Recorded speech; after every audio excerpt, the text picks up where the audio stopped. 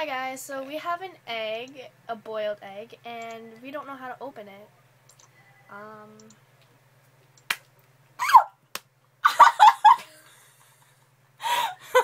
I opened mine. Oh. Does that hurt? oh, I gotta do it again. Got it.